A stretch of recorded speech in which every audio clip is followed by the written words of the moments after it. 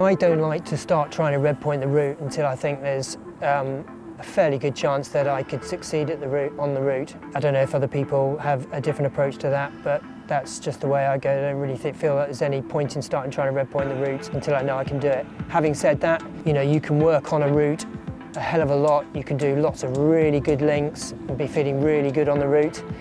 And then when you and you decide, right, I'm ready to go for red point, and you start trying to red point, you do learn new things about the route. So, you know, certainly on the really hard red points, uh, routes of, you know, the absolute limit, I think I think you'll start trying to red point it, and then go back to working it, then go back to red pointing it, go back to working it, and it's just a sort of ongoing process, just sort of assessing where you are. So having a, a prolonged um, period of time where you're trying to red point the route, you know, is incredibly stressful. So I like to get myself ready to sort of red, try and red point the route and then give myself like, you know, a number of weeks. Mentally, if you're trying to red point for, you know, I don't know, six weeks or something, that's just, you know, going to be horrendous.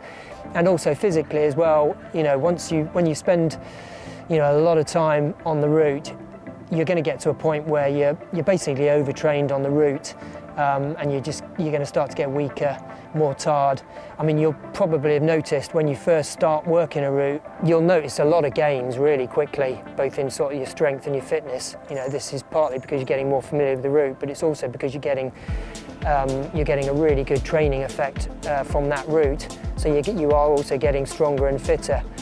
But just like training indoors, you're going to get, get to a point where you're overtrained on the route, you're losing that training benefit, and you're going to go downhill. And so I think that's one reason why you need to set some sort of time limit for blocks of attempts on that route. Otherwise, you're just going to get mentally and physically burnt out.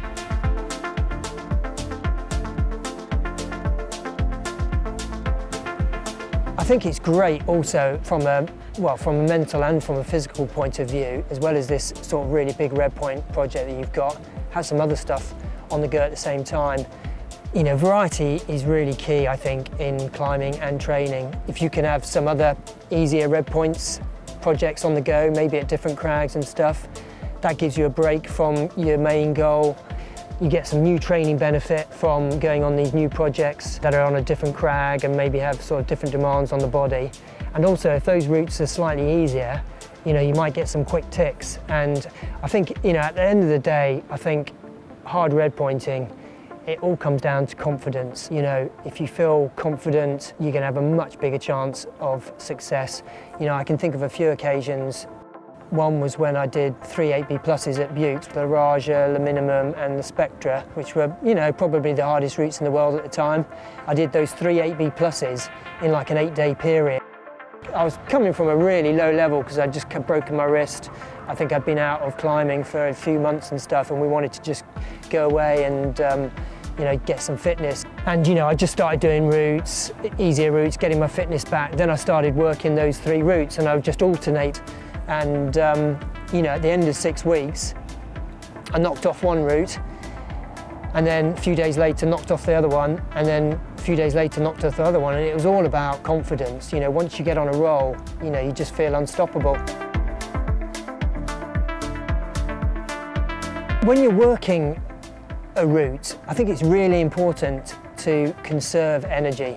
Now that might sound kind of strange but um, from a training perspective and from like a learning perspective on the route your goal is to get as ma the maximum amount of time on that route as possible you know, in, in, a given sort of time period, whether that's like a day or, or, or, whatever. You know, the more energy you conserve when you're working the route, the more you can work the route. I mean, you're going to get, you're going to be exhausted at the end of the day, but you just want to have, you want, just want to spend as much possible time working those moves as possible.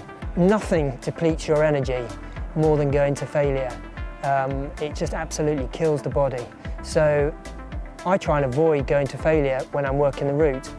I always like to try and do a sequence of moves and then stop before I fall off. Uh, I think a lot of people, they're tempted to sort of work a sequence of moves, they get through this sequence of moves and they think, oh yeah, I'll just keep going, see how far I can get. And then they just keep climbing until they fall off, you know, and they're absolutely blasted. And doesn't really serve any purpose. It just tires them out more and means they can't work the route as much. I'm really just trying to emphasise that when you're working a route, think about conserving energy. It's much better to do sort of short links than a few big long links.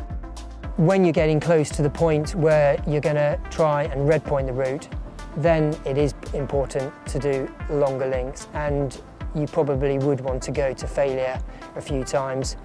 But in the early stages, I would say avoid going to failure. Five 20 minute sessions are better than two 40 minute sessions. And also, yeah, remember when you're working a route, you don't need to work the whole route in one go. You can just work sections of the route and then come back down to the ground, go and belay your friend or whatever. You don't need to bolt to bolt the whole route.